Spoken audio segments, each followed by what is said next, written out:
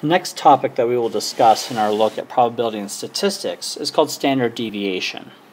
Now, when we were dealing with range and the interquartile range in our previous lesson, we were looking at how far the information spread from the median. In standard deviation, we're going to be looking at how things compare to the mean. So let's start with a couple of terms that are going to be very helpful in this. And the first is mean. And mean is the average value of a data set found by summing the terms of the sets and dividing by the number of terms. Now, when we do this, a lot of times we're going to be using shorthand. The symbol for mean can either be the Greek lowercase Greek letter mu or x bar. Mu is the mean of a population x bar typically is the mean of a sample. And in order to take this, we have the sum of all the terms divided by the number of terms. And that number can be either a lowercase or an uppercase n. Uppercase n means the number of items in the population. Lowercase is the number of items in a sample. If you're finding the average height of people at your school, typically that's a small enough number you could ask everybody. If you wanted the average height of people of an entire nation, that's beyond reasonable capability to find, so you would take from a sample and you use lowercase n. Our next term we're going to look at is variance. And variance is an amount of difference or change from a mean found by dividing the square of the differences by the number of terms. And we'll talk more about what that calculation looks like here in a minute. Variance has two symbols that are used for it as well.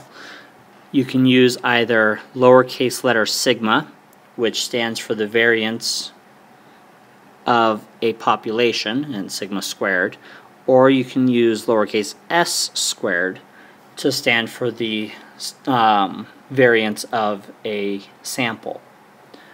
Last, we have standard deviation itself. And this is the measure of dispersion of a group from the mean of that group found by taking the square root of the variance.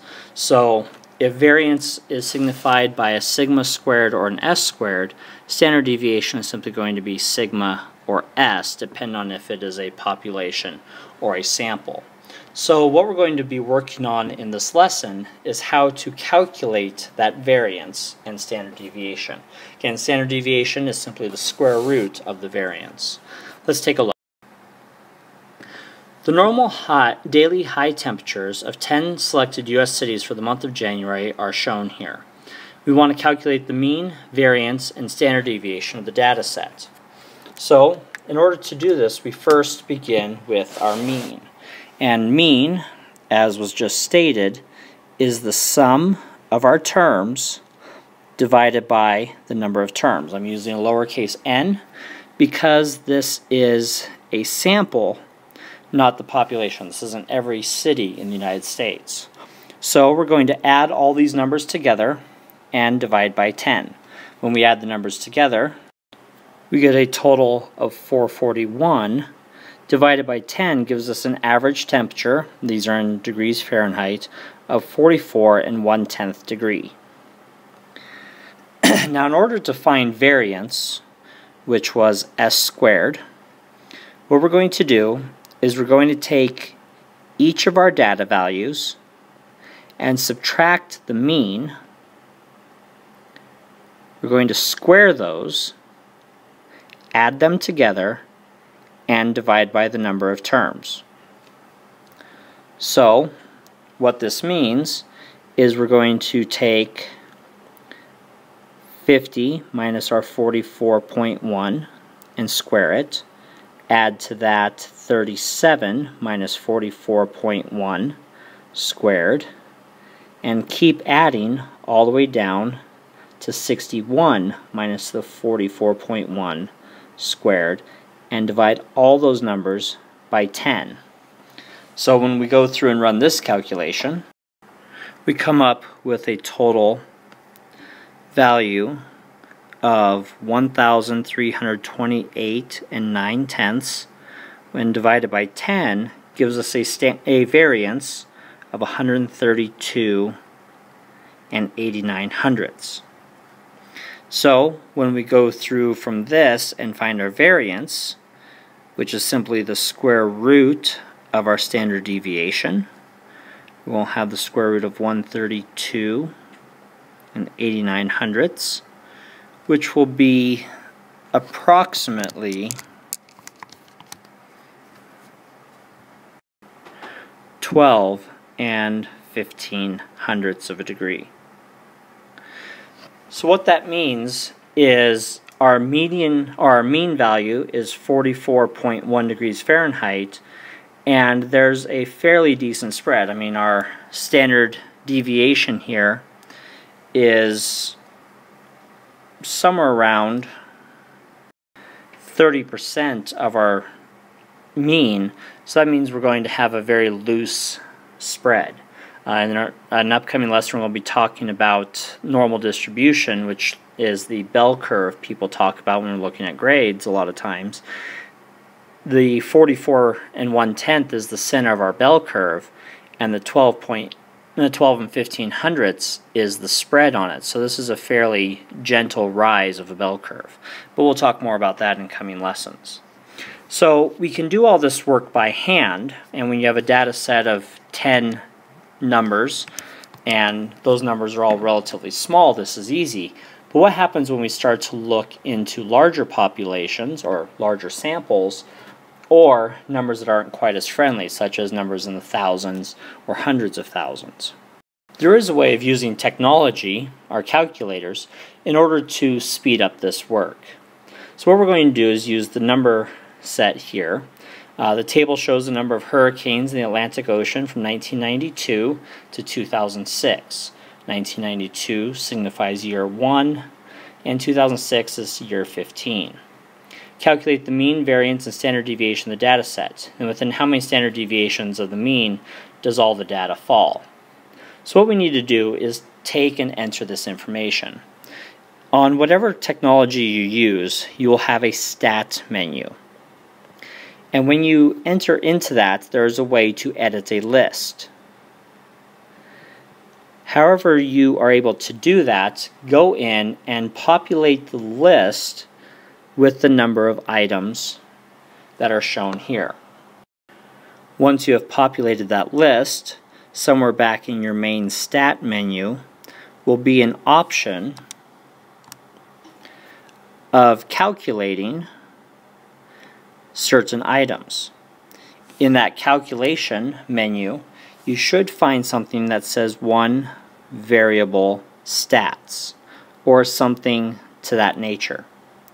When you run your one variable stats on the list that you just created, it will give you a large number of items.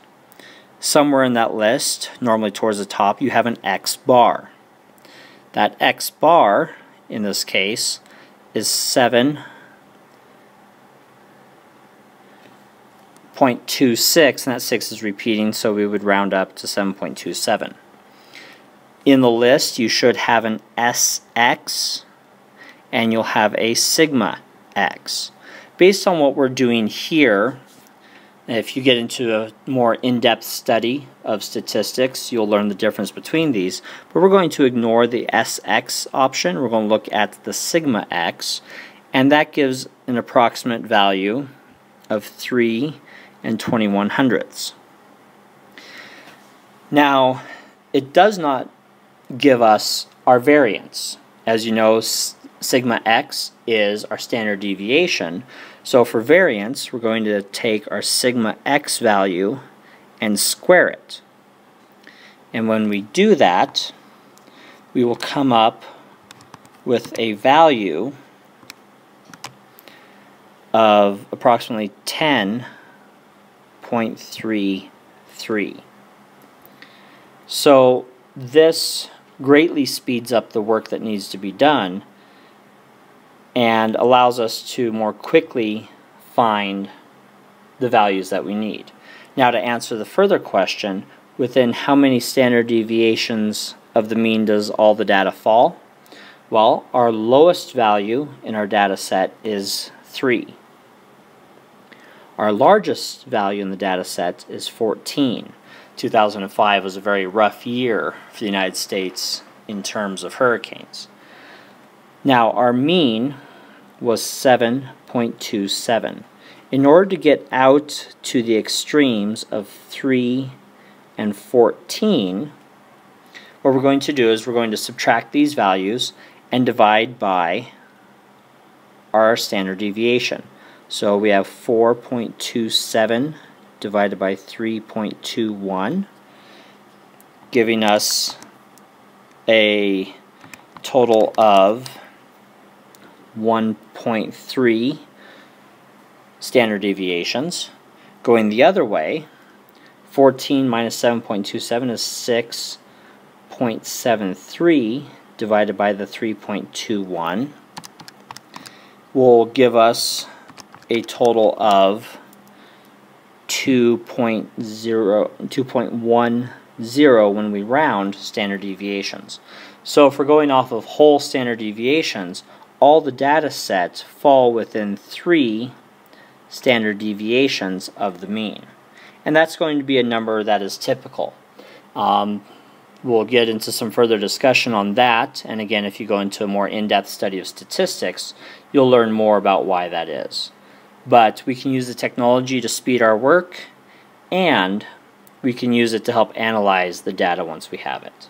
So, some new formulas in here, a little bit of new notation review it and make sure you have it down and understand it all.